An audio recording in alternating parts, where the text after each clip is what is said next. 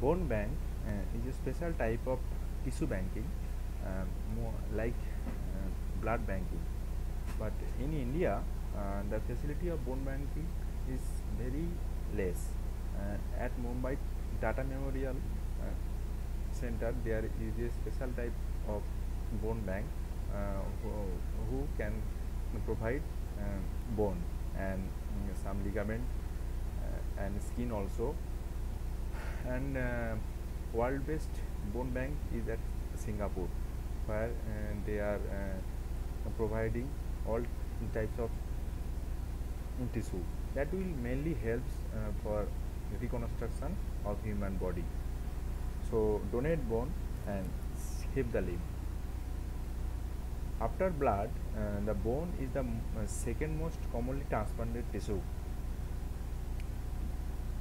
And like kidney transplant like heart transplant like uh, mm, uh, bone is an important uh, tissue we can uh, transplant to our uh, for reconstruction of the limb.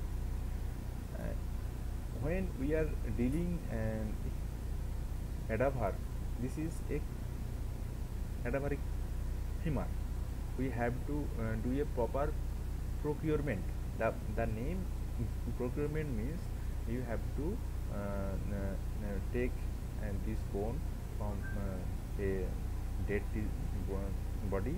Then you have to wash it you have to cut the all ligament uh, and excess muscles all that and you have to fix it mm, uh, by multiple procedure. This is called procurement.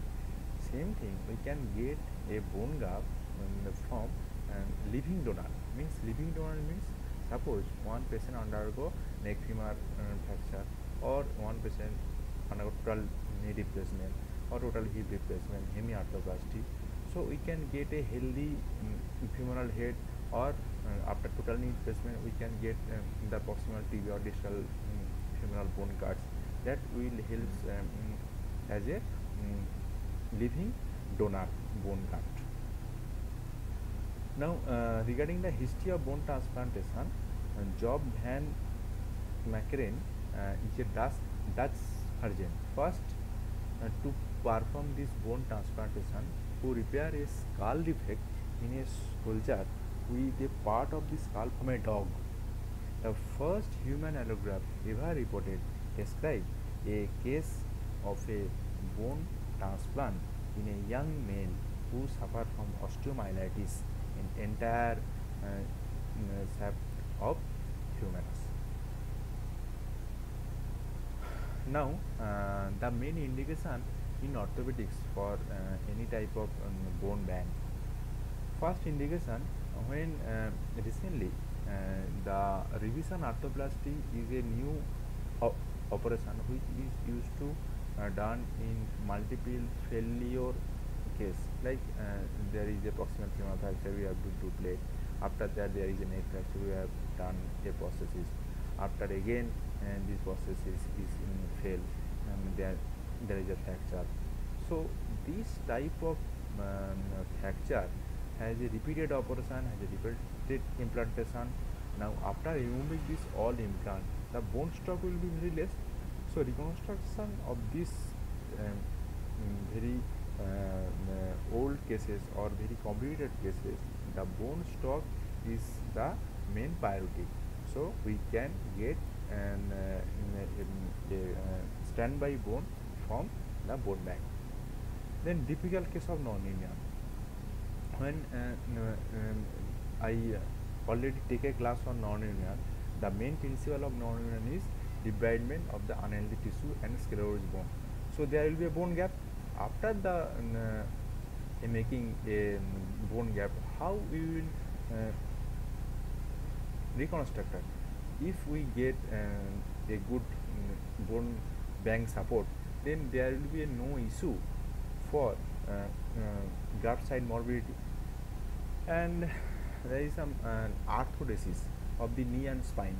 Suppose there i- uh, is um, a, a, a case of loosening of the implant in the knee joint or there is a mm, spondylolisthesis uh, in the spine or there is some procedure which need and the joint fusion is called arthrodesis. During this procedure, we can um, put um, bone graft over this and it will um, cause a sound ankylosis, bony ankylosis. So, bone graft is, um, is needed and again I am telling you the bone graft site like iliac crest or anything will give you just a limited amount. But uh, if we get a bone bank facility that has no limit. We can get many man bone graft at a time. And there will be no hazard for graft side morbidity again. To uh, treat a difficult type of major fracture in um, orthopedic and osteoporotic bone also and when we are dealing with large bone cyst or residual bone tumor defect after a big tumor excision. So again i um, give a small division division arthroplasty typical non-union arthrodesis typical major primary fracture in or in osteoporotic bone fracture and if um, in a case of bone cyst or residual bone defect after a big tumor excision. Now there is another fracture is called periprosthetic loosening or periprosthetic fracture periprosthetic fracture um, is first classified by Vancouver. Vancouver is an orthopedic surgeon who used to deal with only um, fracture around the prosthesis or implant. Suppose after giving any type of implant or any type of prosthesis, the um, weight bearing axis or weight bearing mechanism at least differ from normal. So the proper stress shielding around the um, implant is very mandatory for durability of that implant. So bone stock is very important.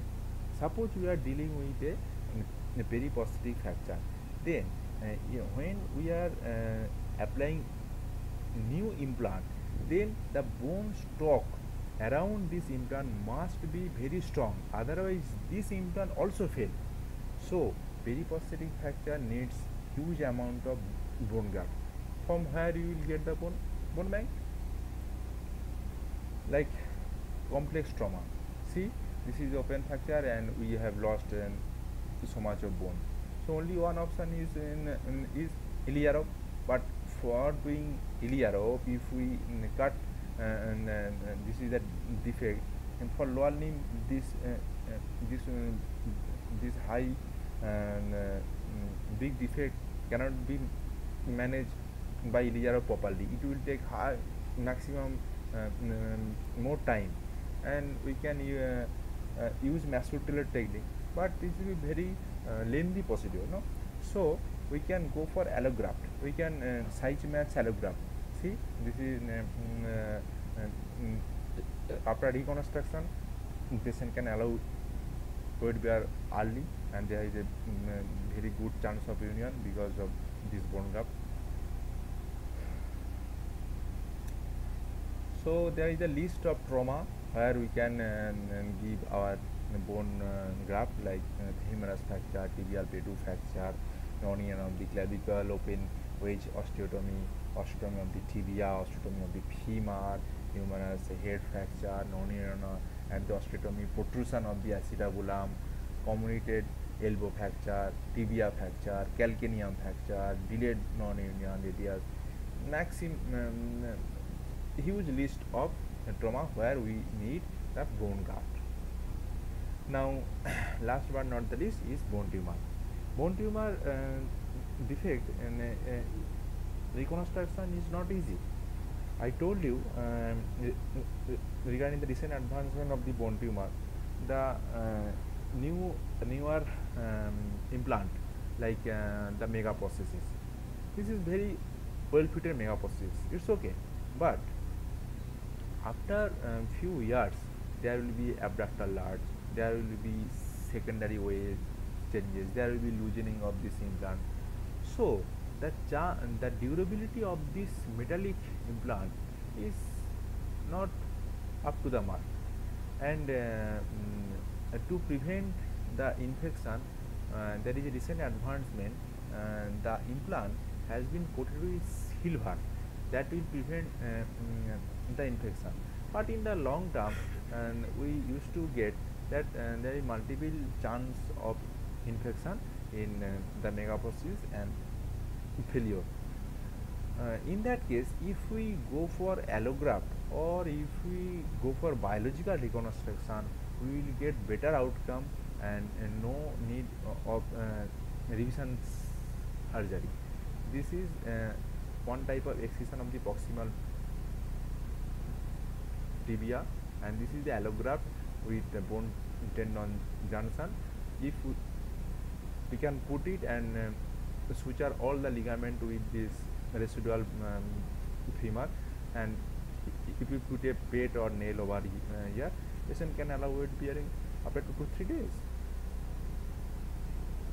Now uh, bone bank uh, is a huge industry like uh, mm, uh, uh, like program. It needs some organization and donor selection and documentation storage and processment and procurement and implementation.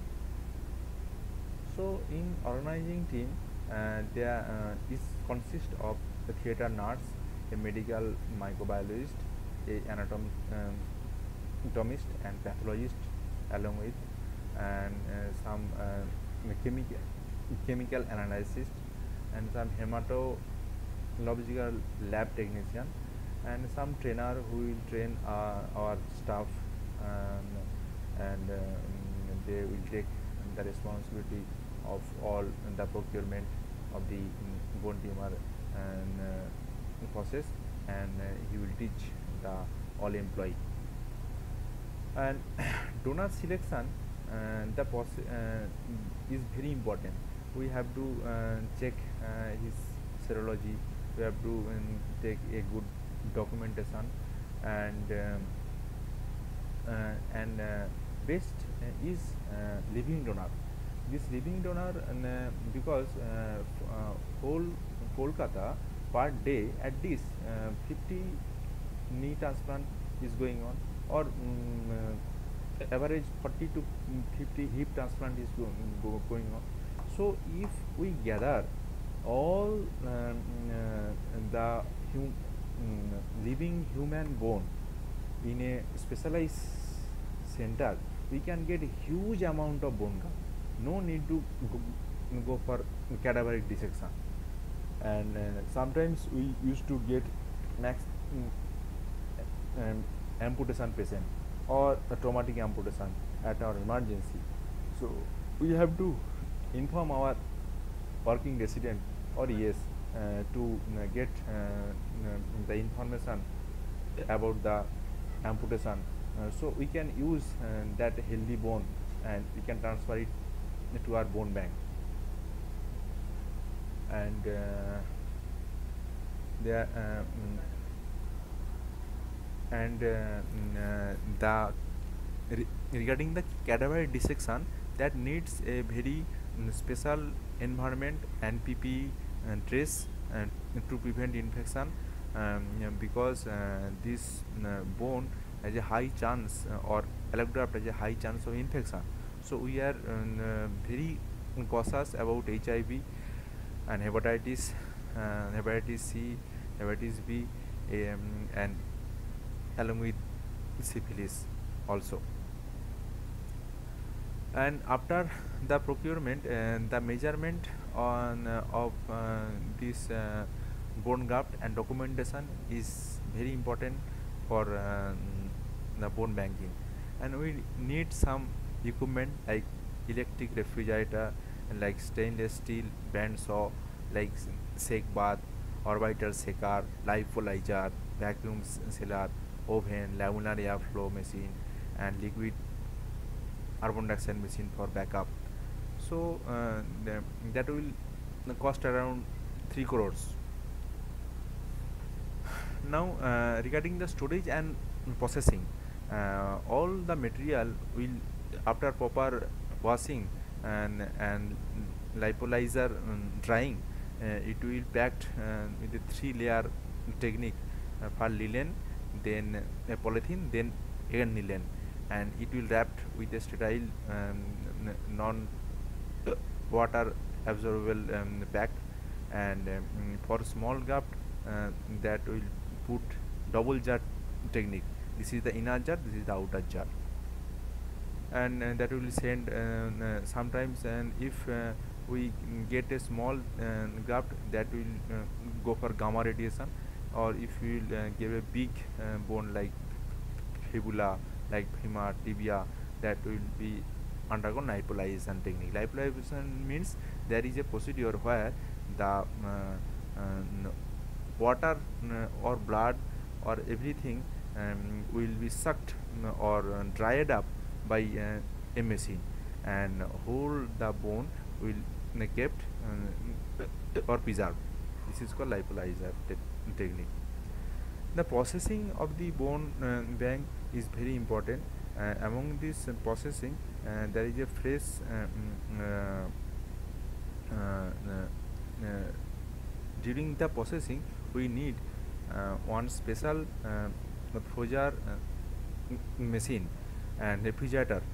And uh, all uh, the stuff will will be covered by um, a PP kit and, and uh, this is the arthroplasty sa uh, safe bone. This is the fresh femoral head and that uh, has been carted in multiple sizes. This is the TKR bone graft.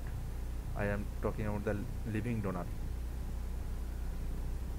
And sterilization method is very important for um, uh, uh, the bone banking because um, we have um, uh, we, we all know the infection of allograft is an issue.